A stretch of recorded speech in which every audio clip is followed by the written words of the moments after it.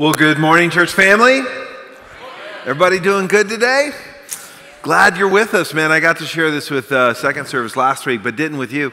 Uh, my assistant Jamie always puts some water in my office here at the uh, church, and uh, she does a great job helping me out. And and I realized that she did something special. Um, this last time she picked up water, she got I didn't even know this was a thing. Chuck Norris water. Yeah, you zoom in on that. That's Chuck. Neely campus, check it out. It's Chuck Norris Premium Artesian Water. It's called CForce. And so I felt pretty good about this sermon, but now that I have Chuck Norris water, I feel like I'm going to be able to knock this thing out of the park, all right? So thank you, Jamie, for getting me some Chuck Norris water. That's going to really help. Uh, I hope you have some Chuck Norris water. If not, tough, go buy it. Um, turn in your Bibles to Exodus uh, chapter 3. We're going to be in Exodus 3, and then we're going to turn over to Exodus chapter 19 here in a minute. So we're going to be in Exodus 3 first. Then we're going to be in Exodus 19. Um, uh, and I got to tell you, just right up front, kind of, I got two goals, all right? So just so you know, there's two goals for today. Number one, uh, I, I want to get us to a place where we're committed to worship together. Now, for those of you in the room, that's really good news because you're here. You're already succeeding at one of the two things I'm asking you to do. You're here worshiping God together. That's what we're doing. I want to I want to just at the end of it, I'm going to I'm to lift up the importance of this, uh, whether you're at Neely Campus 191 or online. And those of you watching online, we're so grateful for our online expression, but I'm also going to kind of challenge you a little bit if you haven't been in person in a while, and that's an option for you. We'd love to see you in person because we think God has something special for you when you're together in worship. We're going to talk about that today.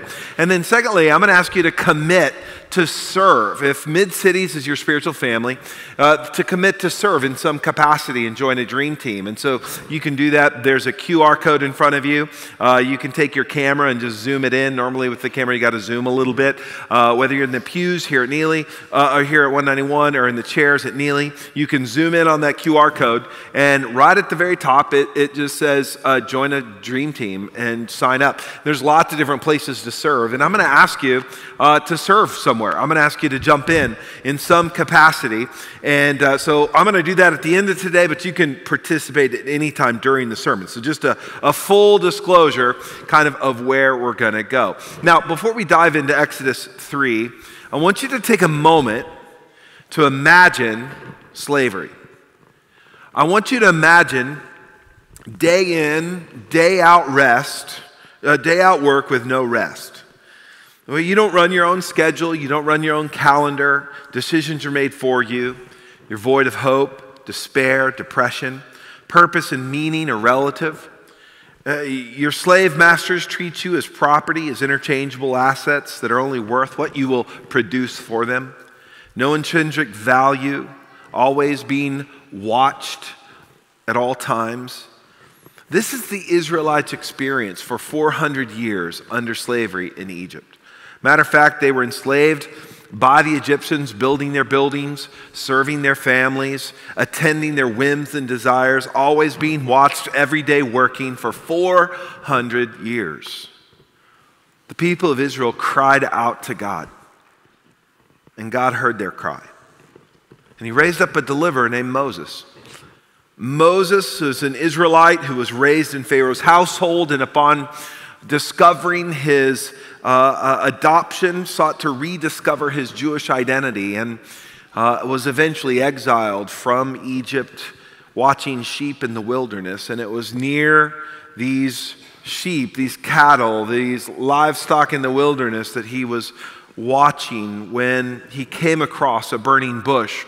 And God spoke to Moses through the burning bush and gave him some clear instructions of what Moses was to do in response to the Israelites' cry. We find that in Exodus 3, verse 9 through 12. It says this, And now behold, the cry of the people of Israel has come to me, and I have also seen the oppression for which the Egyptians oppress them.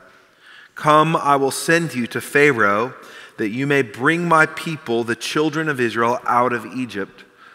But Moses said to God, Who am I that I should go to Pharaoh and bring the children of Israel out of Egypt?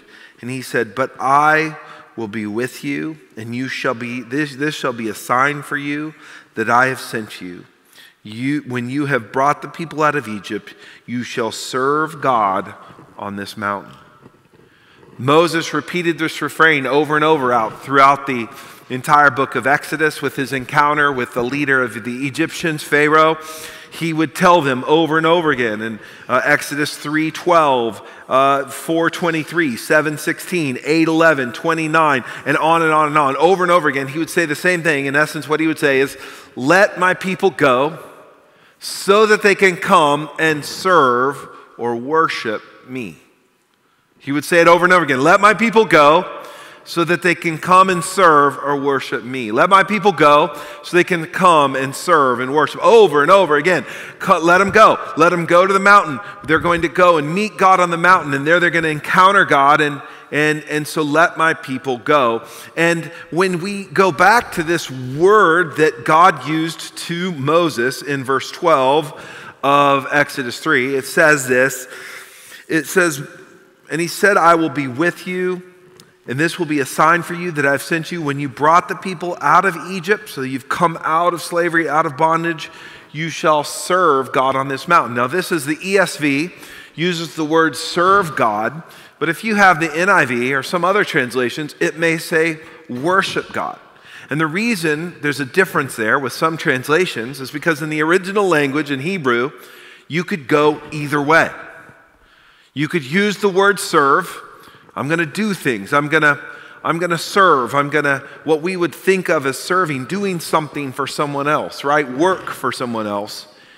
But it was interchangeable, the same sense as worship. Now, when we think of worship, oftentimes we kind of in a Christian context limit that to singing songs to God. And of course, that's a part of it.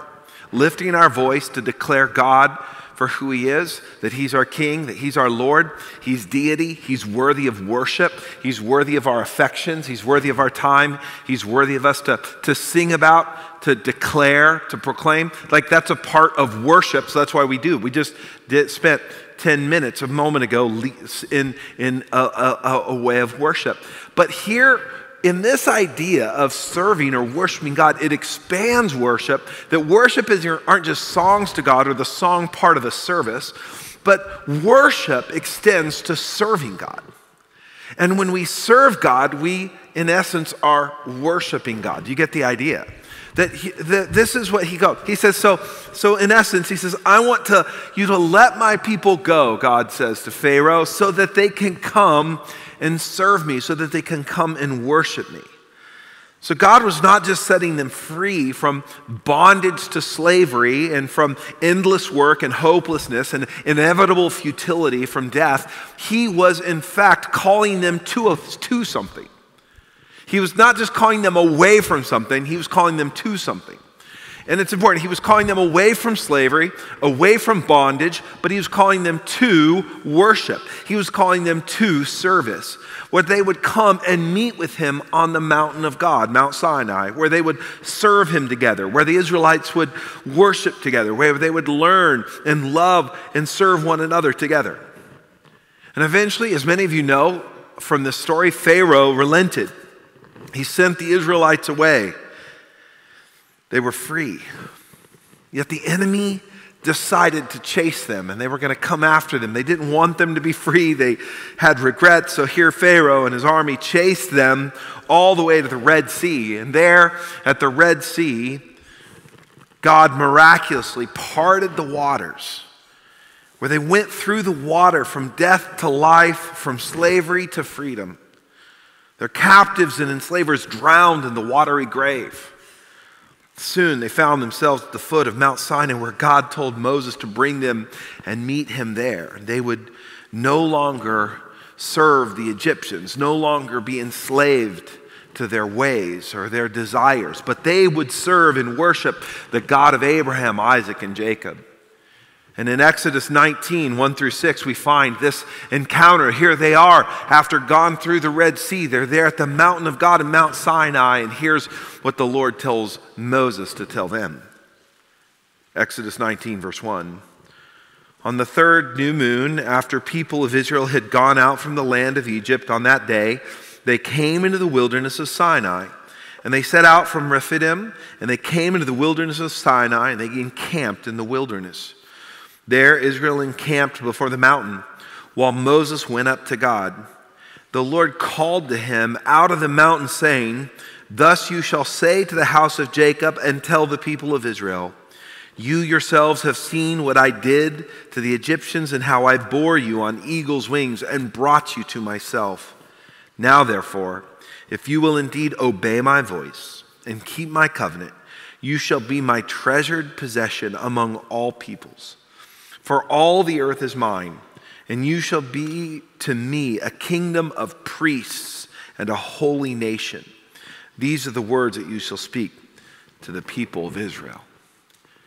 Here, after they had left 400 years of slavery, they found themselves at the foot of the mountain, and there they had new instructions.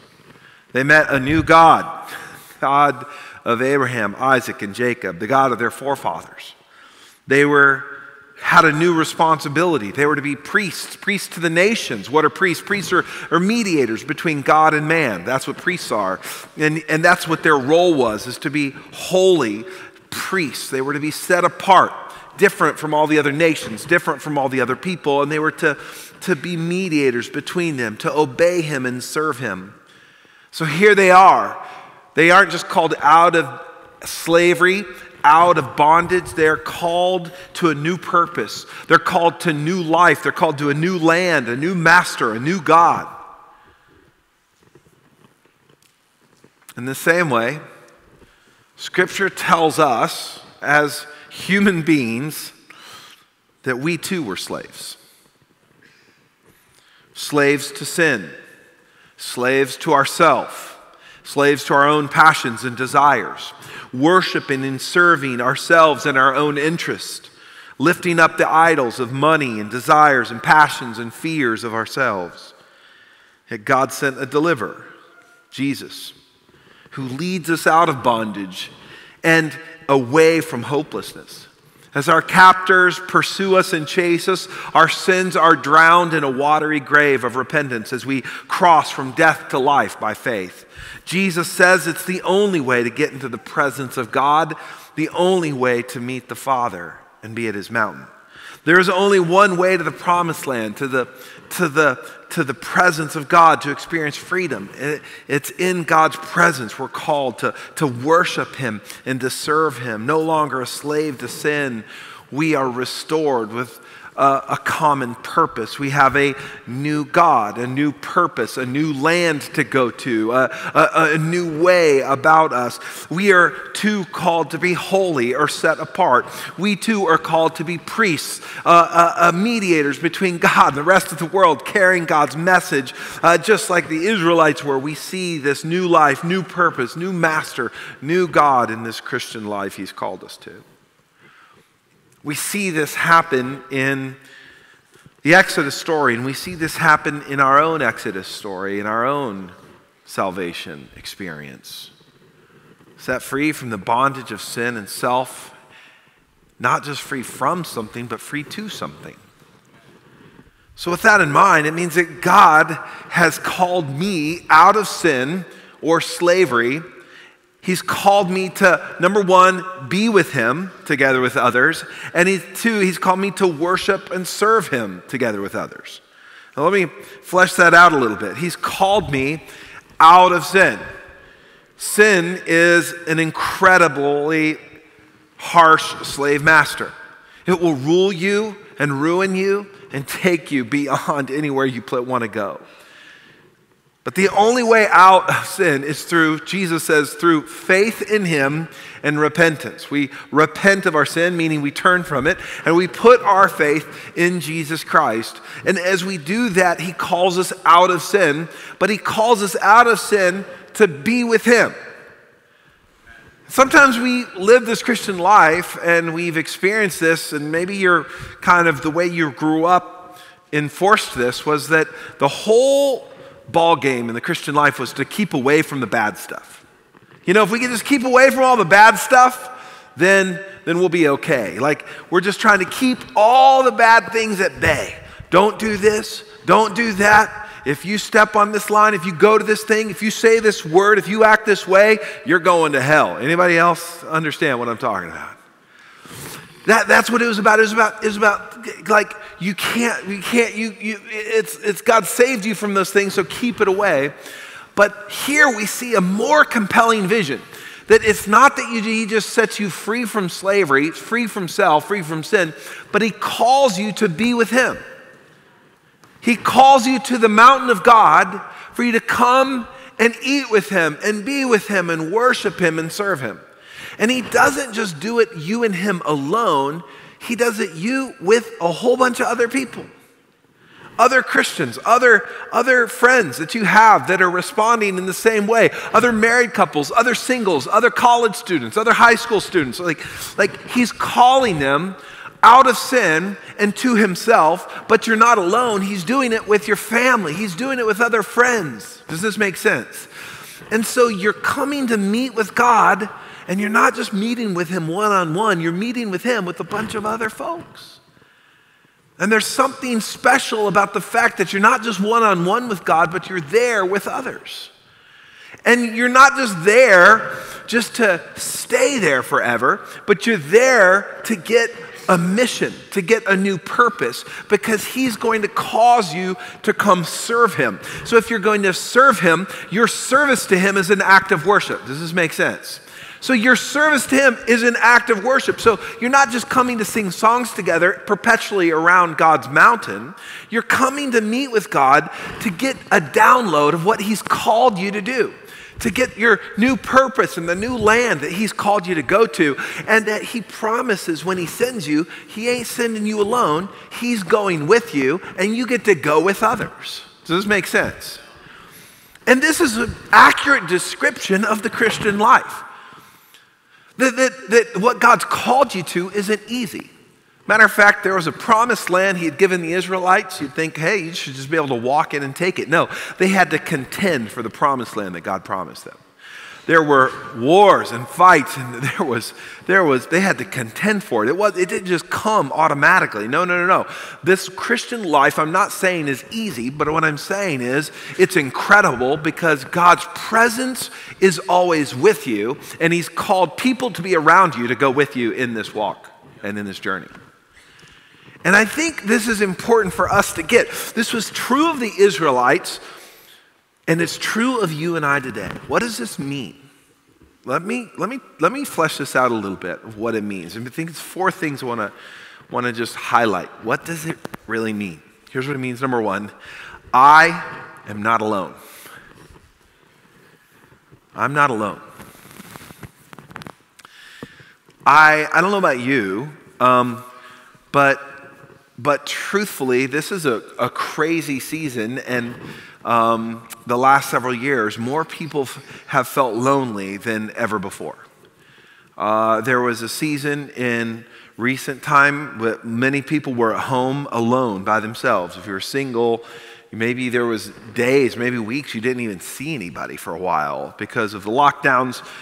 Uh, even if you're married uh, or, or, have a family in your home, you were, you, you know, it was, it, the lockdown was incredibly hard on you. And some people have, uh, were, were uh, par- partitioned off from workers, and so they didn't get to mix it up with their workers, their friends, and things were canceled across uh, the globe. And, and so there was a loneliness, right? There was a, an aloneness that happened during that time. And as a result, there's even repercussions to this day from that. And maybe even before the pandemic, you felt lonely. Maybe even before then, there was a, a loneliness in your soul. You could be surrounded by people, but you felt kind of alone. And here's what I want to tell you as a Christian, as a follower of Jesus Christ who has repented of your sin and put your faith in Jesus, Jesus promises that you might feel lonely, but you're never actually alone.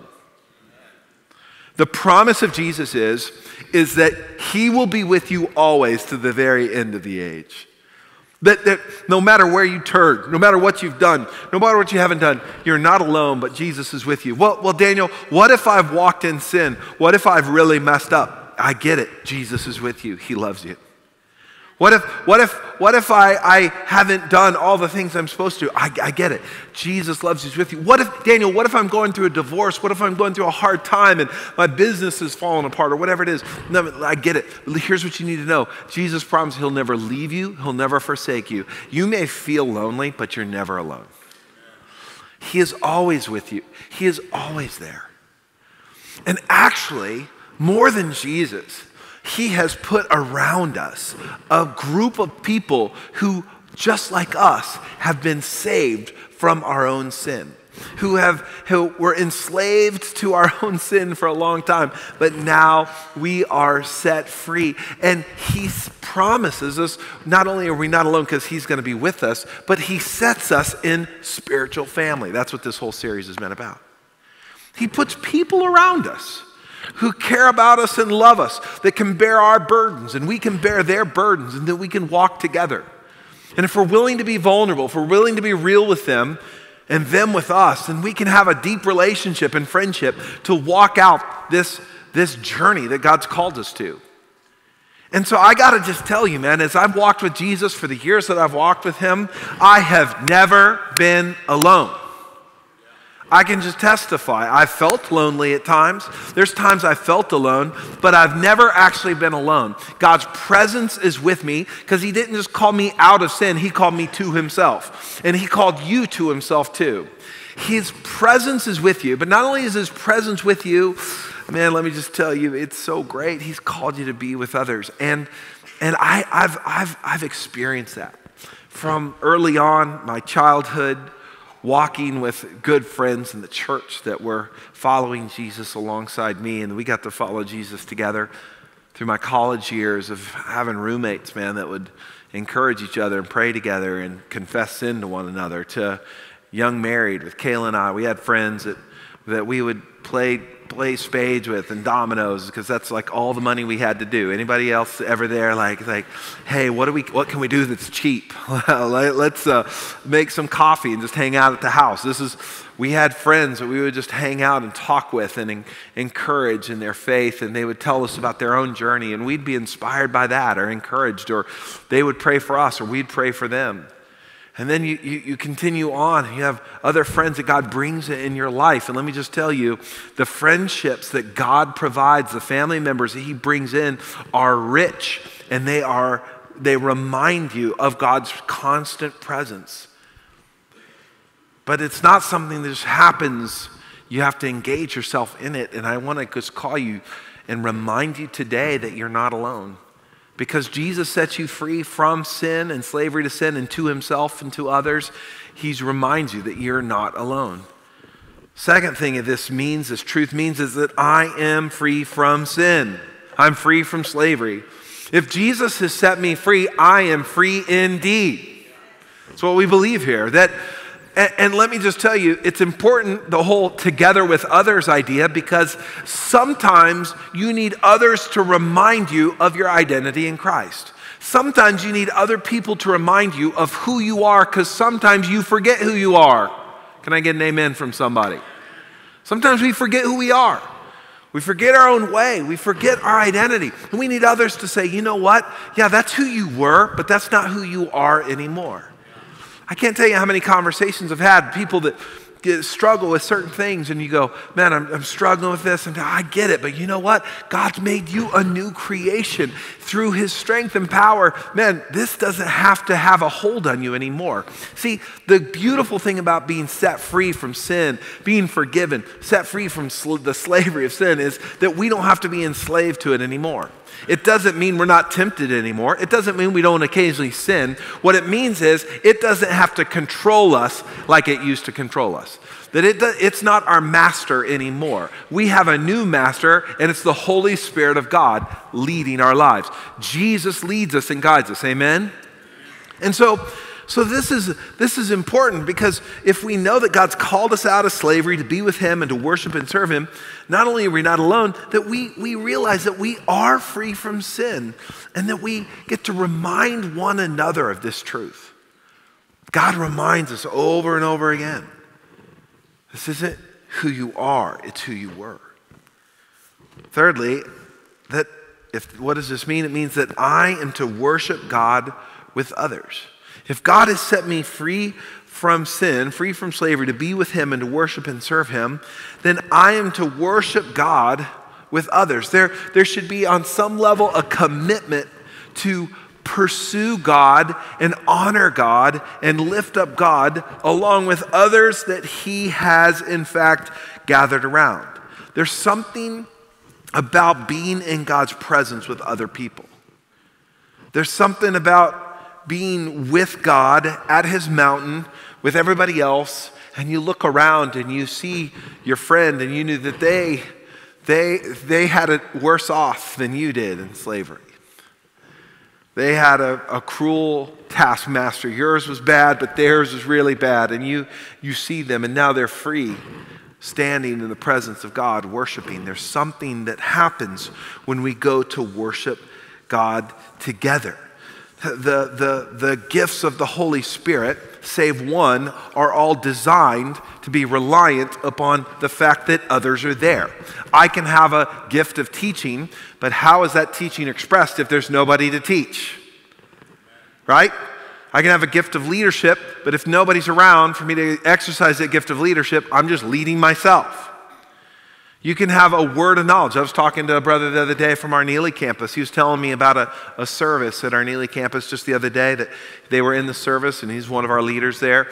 And he, God, God gave him a sense, a kind of a prophetic word of knowledge about a family that he didn't know that was in the sanctuary. And uh, he grabbed them afterwards and said, Hey, can I pray for you? Prayed for them with this thing that the sense that the Lord had given him.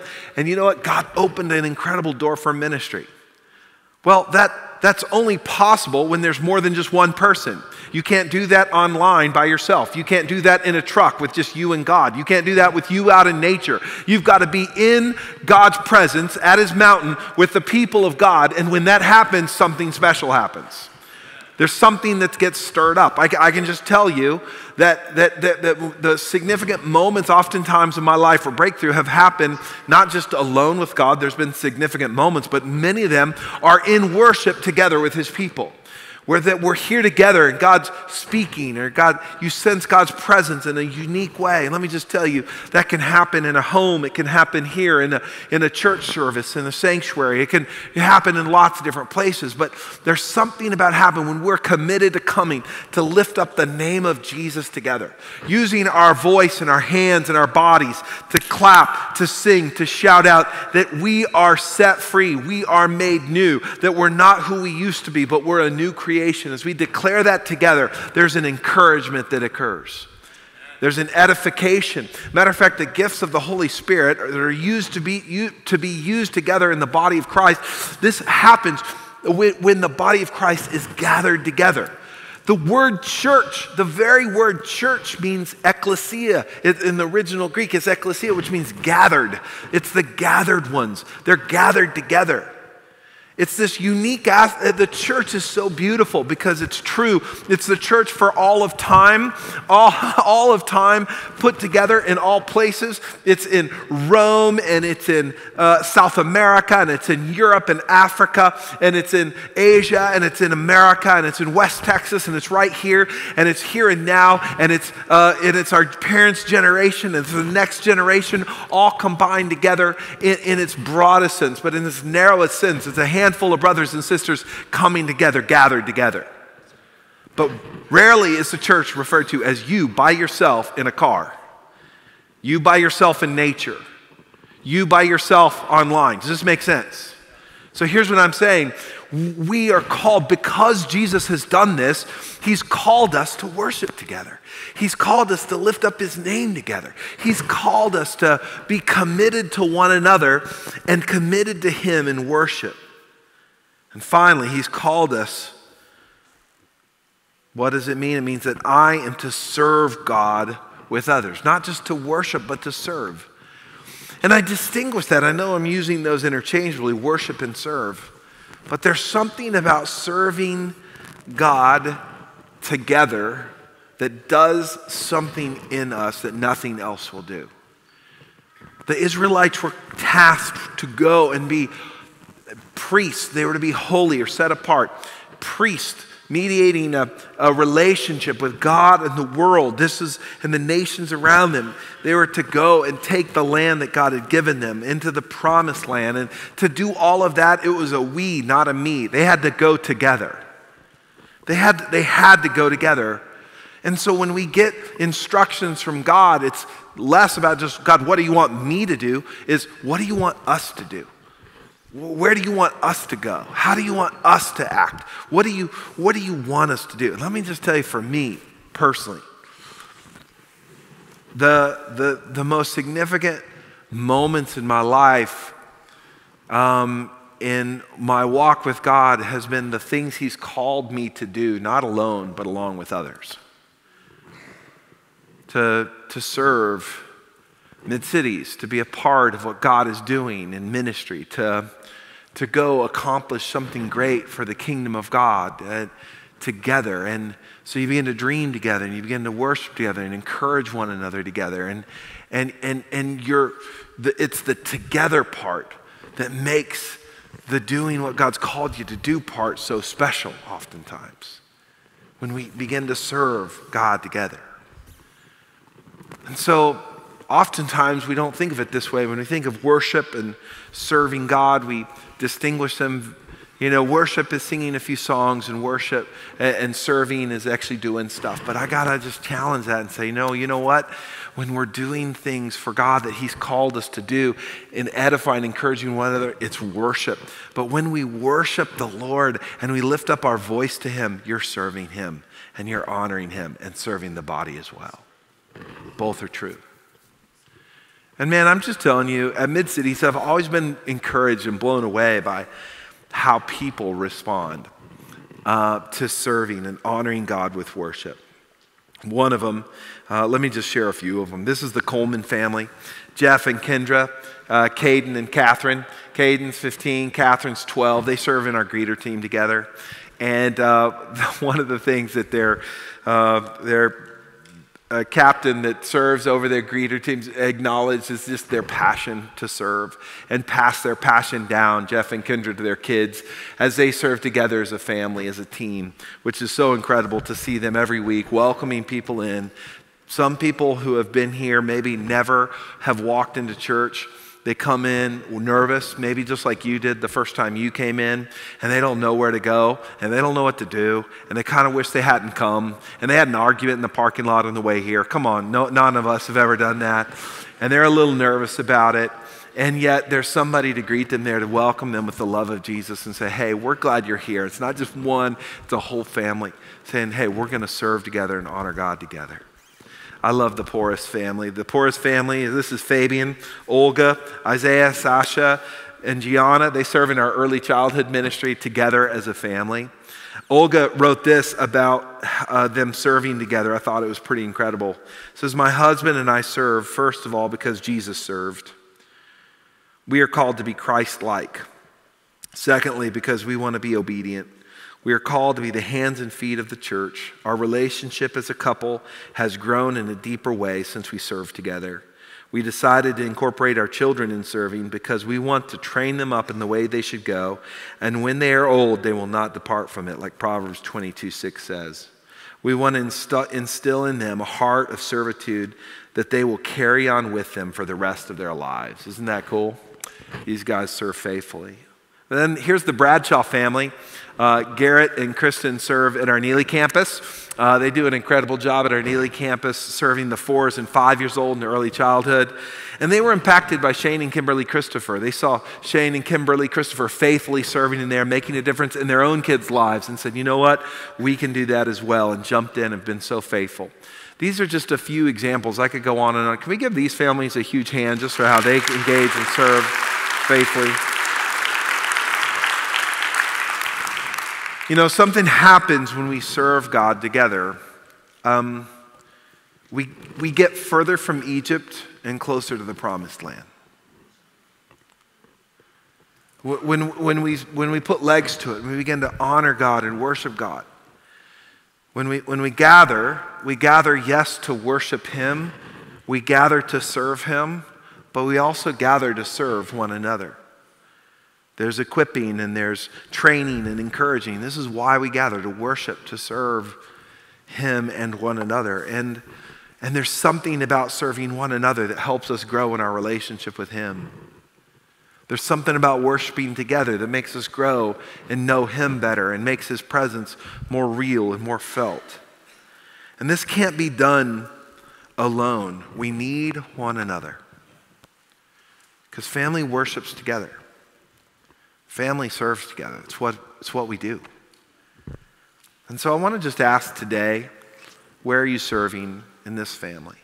If Mid Cities is your spiritual family, and let me just tell you, if you're a guest, we don't expect guests to serve and jump in there, but we do.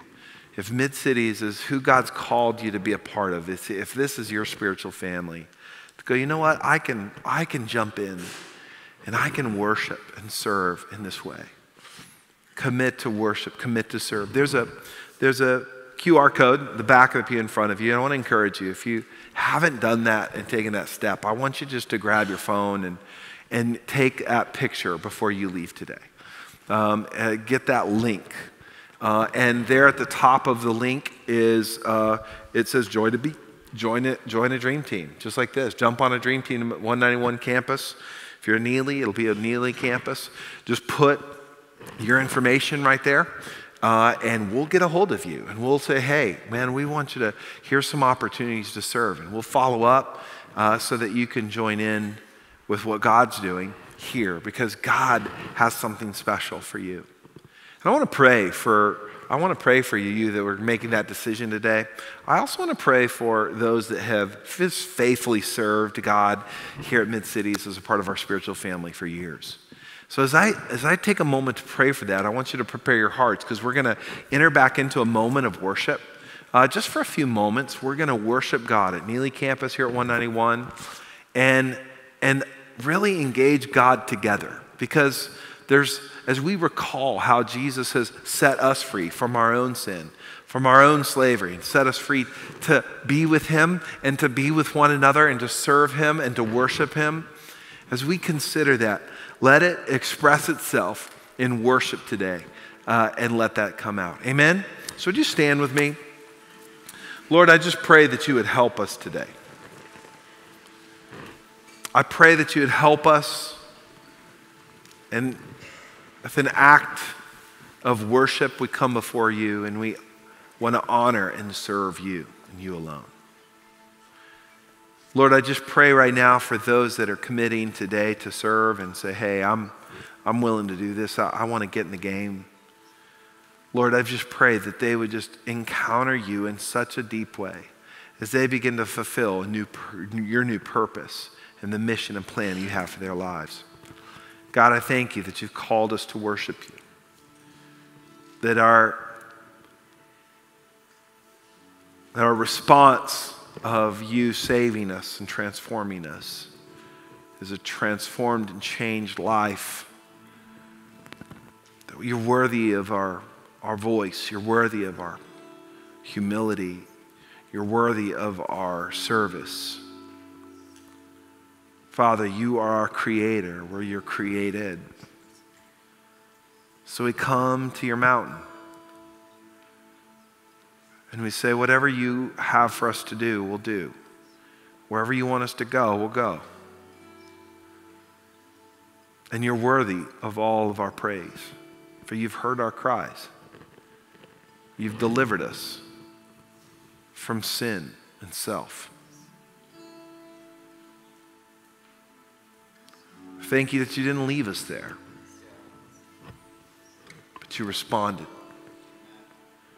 So Lord, with that heart, with that attitude, we respond in worship to you now.